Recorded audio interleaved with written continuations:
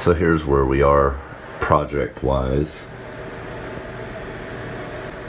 Quite a lot to do. Winter is officially here, so it is cold as a. I have all of this stuff for the Miata. Oh, yeah. All of this stuff for the 54. And of course, I just had surgery.